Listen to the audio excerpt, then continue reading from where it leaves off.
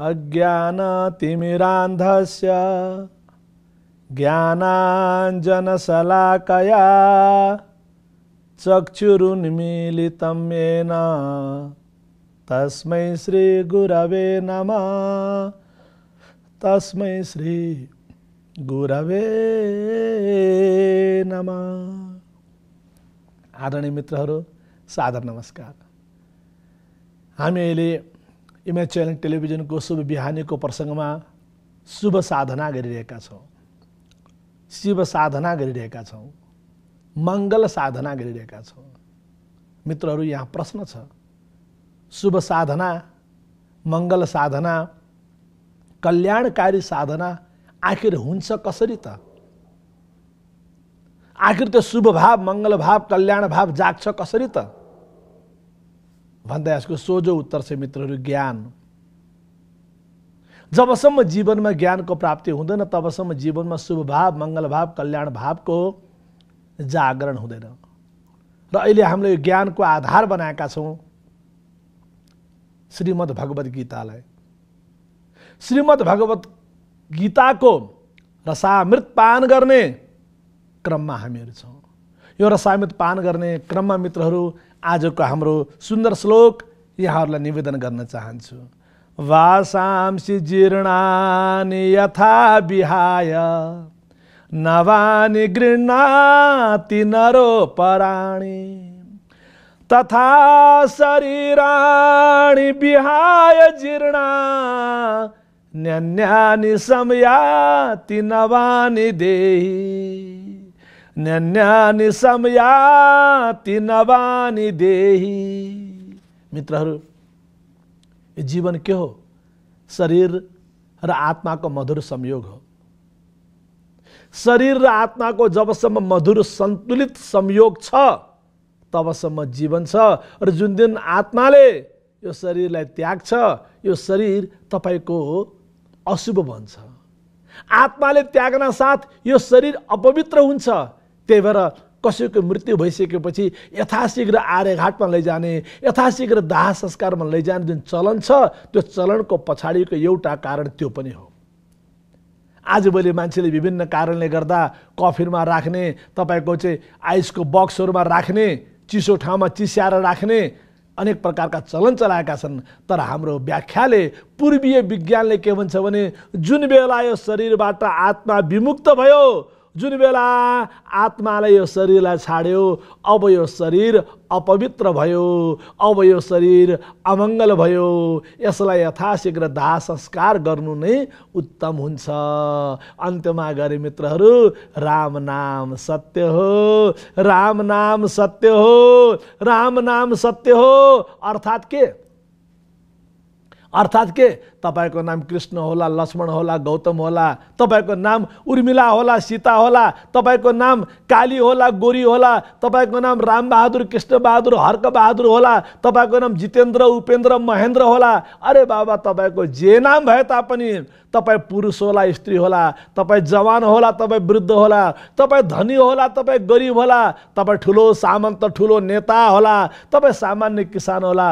Whoever you're finally मित्रहरू अन्त्यमा त कुरा के छ भने तपाईँको सबै पहिचान गयो तपाईँको सबै स्वरूप गयो तपाईँको सबै पद प्रतिष्ठा गयो तपाईँको सबै सौन्दर्य जवानी गयो तपाईँको सबै अहङ्कार गयो। अब त एक मात्र कुरा बाँकी छ के?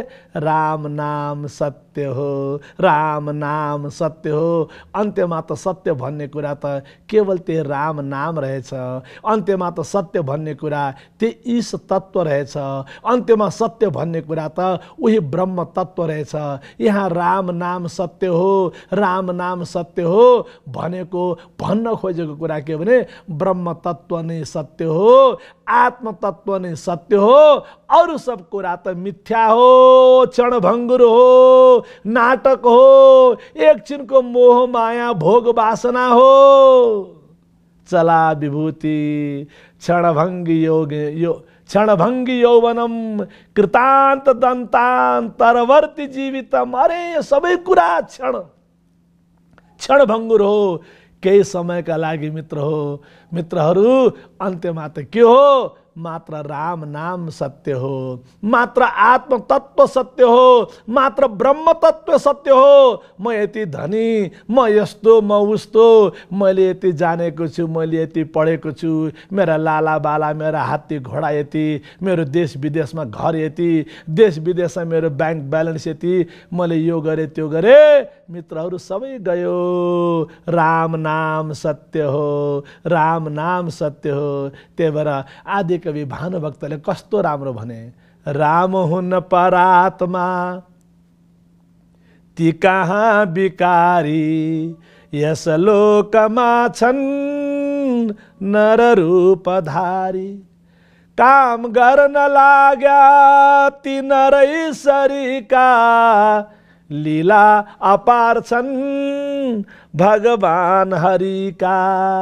लीला अपार छन् भगवान हरिका त मित्रहरू यहाँ मूल प्रसङ्ग छ आत्मतत्व नै श्रेष्ठ तत्व हो आत्मतत्व नै परम तत्व हो हामीले जसरी शरीरबाट लुगाहरू चेन्ज गर्छौँ शरीरबाट आफूलाई चाहिने जुत्ता मोजा आदि चेन्ज गर्छौँ शरीरलाई चाहिने शरीरले प्रयोग गर्ने चस्मा मोबाइल आदि प्रयोग गर्छौँ शरीरले प्रयोग गर्ने आभूषण आदि प्रयोग गर्छौँ चेन्ज गर्छौँ घडी आदि इत्यादि प्रयोग गर्छौँ र फेरि कालान्तरमा चेन्ज गर्छौँ। मित्रहरू आत्मतत्व पनि त्यस्तै हो। यो आत्मतत्वले शरीरलाई परिवर्तन गर्छ। हामीले पुरानो लुगा फ्याँक्छौँ नयाँ लुगा लिन्छौँ पुरानो घडी फ्याँक्छौँ नयाँ घडी लिन्छौँ पुरानो मोबाइल फ्याँक्छौँ नयाँ मोबाइल लिन्छौँ पुरानो कार पुरानो घर पुराना कुरा थोत्रिँदै गए फ्याँक्छौँ नयाँ लिन्छौँ अथवा कुनै कारणले हरायो टुट्यो फुट्यो कुनै कारणले केही भयो नोक्सानी भयो हामी त्यसलाई नयाँ कुराले रिप्लेस गर्छौँ। सेम फिलोसफी जी है सेम साइंस सेम लॉजिक जुन आत्मतत्व हो परम तत्व हो आत्म तत्व जो हो अविनाशी तत्व हो आत्म तत्व जो हो कुटस्थ तत्व हो आत्मतत्व जुन हो त्यो चैतन्य तत्व हो त्यो कस्मिक एनर्जी हो त्यो युनिभर्सल एनर्जी हो र अहिलेको साइन्सको भाषामा पनि के भन्छ भने energy never destroys it just change its form यानि कि शक्ति कहिले पनि नष्ट हुँदैन। तर शक्ति कहिले पनि नष्ट हुँदैन। तर शक्तिले आफ्नो रूप फेरिरहन्छ शक्तिले अनेकौँ रूपमा आफूलाई फेरि प्रकट गर्छ। शक्तिले फेरि आफूलाई अनेक रूपमा व्यक्त गर्छ। अव्यक्तबाट व्यक्त हुन्छ अमूर्तबाट फेरि मूर्त हुन्छ अप्रकटबाट फेरि प्रकट हुन्छ इनभिजिबलबाट फेरि भिजिबल हुन्छ।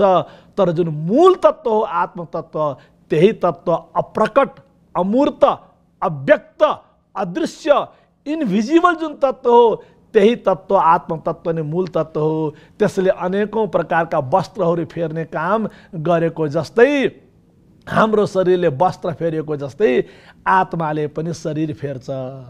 हाम्रो शरीरले मोबाइल फेरेको जस्तै घडी फेरेको जस्तै आभूषण श्रृङ्गार फेरेको जस्तै त्यो आत्मतत्वले पनि यो शरीरलाई फेर्छ। कहिले कुन शरीर?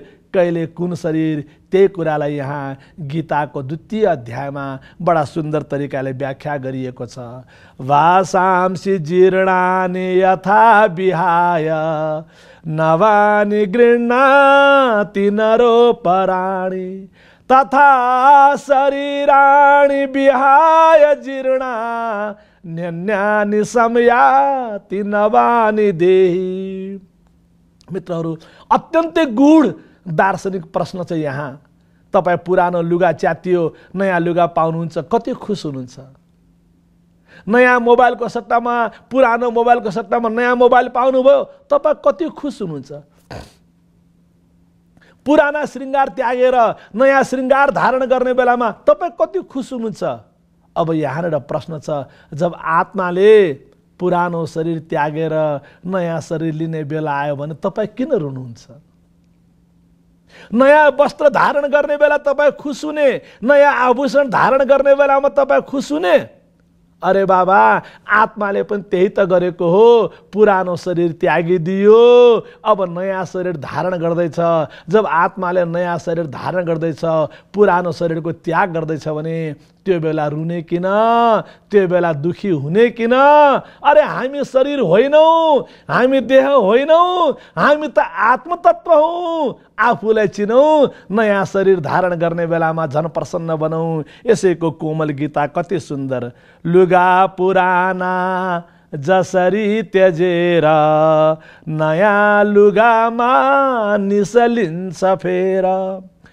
त्यस्तै बुढा देहहरू त्यजेर त्यस्तै बुढा देहहरू त्यजेर यो जीवले लिन्छ नयाँ शरीर यो जीवले लिन्छ नयाँ शरीर